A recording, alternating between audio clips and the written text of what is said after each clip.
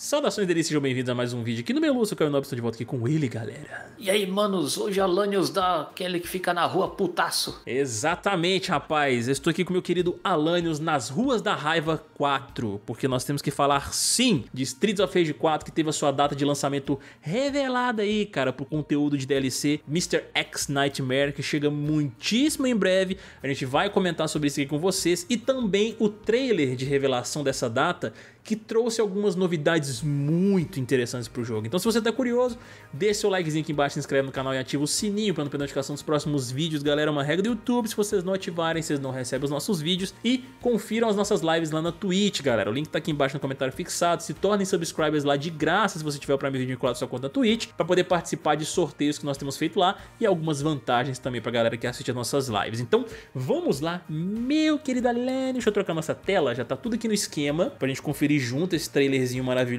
aqui, entendeu? Então, vamos lá, Alanios, sem mais delongas, cara. Já vamos tacar esse negócio aqui, depois a gente faz nossas observações. Vamos lá. Manda ver.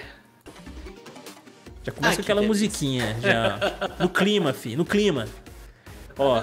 No esquema já. Modo survival, hein, Alanios, pra nós. Hum. Challenge the Simulation. Desafia a simulação. Nossa senhora. Ó, você viu o personagemzinho sumido ali? Eu vi. Ó, você pode fazer upgrade no personagem, parece ali agora. Ah, o nível de ameaça Nossa. subindo, criar combos insanos. Nossa, olha isso, cara. Meu amigo. Ó, simulação over. Tem mais coisas subindo de nível, de ali. De ameaça. É. olha, olha aí, isso, mano. mano. Mais fases clássicas pra gente achar em Alanis. Nossa, velho. Nossa, olha o bumerangue de espada de laser ali, ó. Armas novas pra gente usar. Mano, uma jaca. Nossa, você viu que a Blaze ali bateu num botãozinho e desceu no cara ali? É. Nossa, olha isso. Meu véio. amigo, olha isso. Deve, deve ser uma confusão gostosa Nossa, demais. É, pois é. Olha isso, mano. O bicho meteu 15 hits ali no...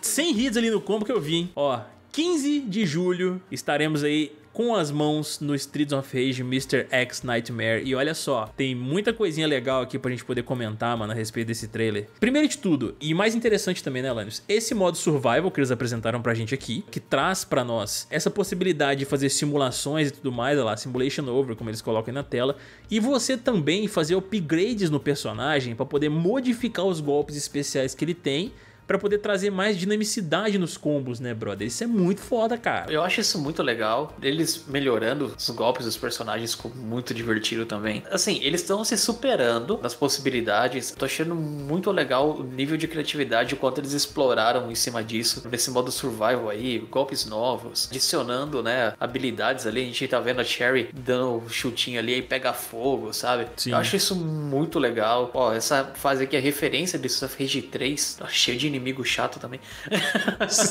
eu quero saber o que, que, pode vir em cima da história, mas o que eles estão apresentando pra gente no modo de sobrevivência, isso já é bem legal. Tô achando isso super legal, super divertido a ideia. É uma sobrevida pro jogo. O jogo ele é bom, você senta para jogar ele hoje ainda é divertido igual. Quanto mais você joga, melhor fica, porque você vai aprendendo os combos e tudo mais tal. Eu ainda não zerei o jogo no Mania para ver como é que é a parada. Então, assim, assim, é uma sobrevida. Pois é, meu amigo. E a gente viu muita coisa aparecendo aqui nesse trailer que é bem interessante.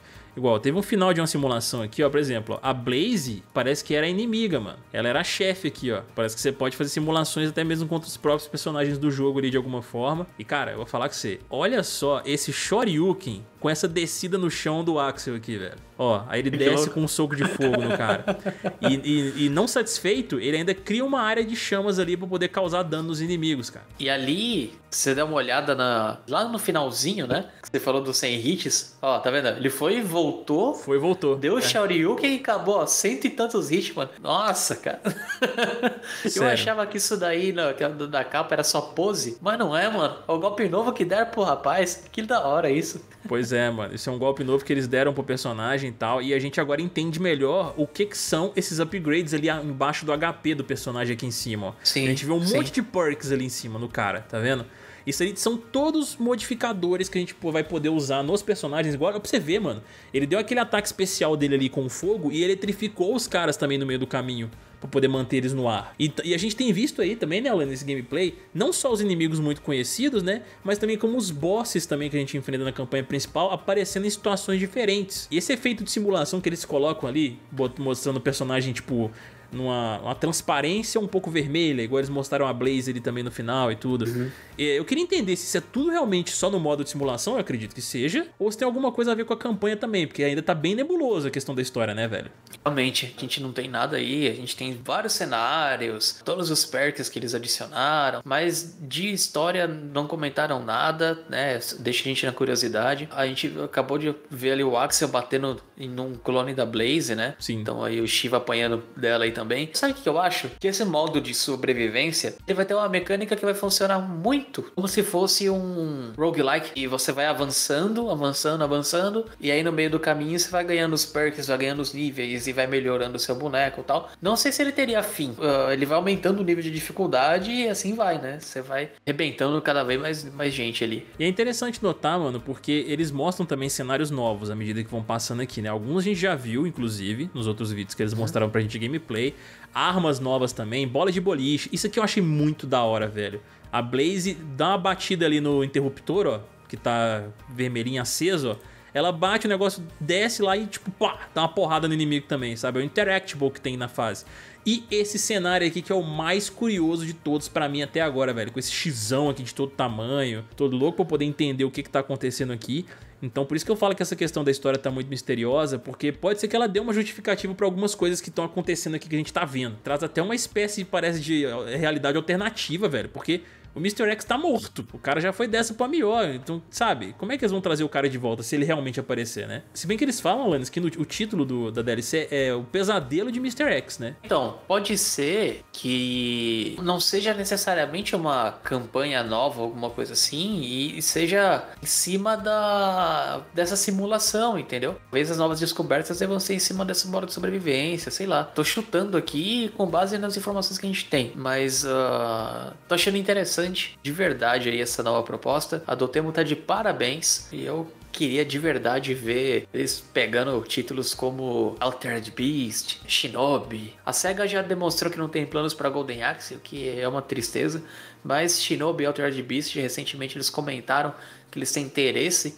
em ressuscitar essas franquias. Então já é, já é um negócio bem legal se eles forem pro mesmo caminho que eles foram aí com o Streets of Rage 4, entregando uma extremamente competente trazer de volta, né, esses títulos. Pô, vai ser da hora demais, cara. Só nos resta esperar aí, meus amigos. Dia 15 de julho já tá chegando e a gente deve trazer bastante conteúdo de Streets of Rage 4 pra vocês aqui no canal, entendeu? Aproveitando essa vibe aí agora que encerraram as novidades de Mortal Kombat e tudo mais. E na época que o Streets of Rage 4 veio, a gente trouxe muito conteúdo dele aqui no canal e vocês curtiram muito. Então a gente deve trazer muita coisa da DLC pra vocês aí, em termos de curiosidades, vídeos explicando aí, mostrando as novidades que eles trouxeram. Até mesmo, quem sabe, mano, se realmente for uma campanha isso daqui a mais, que a gente acredita que seja também, né? A gente deve trazer vídeo jogando ela aqui pra vocês e, obviamente, fazer em live também lá na nossa Twitch, que tá aqui embaixo no comentário fixado. Então, agora você precisa deixar aqui embaixo seu comentário dizendo o que, que você achou de tudo isso que eles estão apresentando para of Rage 4 e se você agora está no hype do lançamento desse negócio que chega no dia 15 de julho. A gente vai adorar a opinião de cada um de vocês aí e não se esqueçam novamente de deixar o seu likezinho aqui embaixo, se inscrever no canal e ativar o sininho para não perder notificação dos próximos vídeos, galera. Vamos ficando por aqui. Um beijo, ó. Os torcedores, uma olhada no pin esquerda e direita de cada um de vocês. Até mais. Fomos!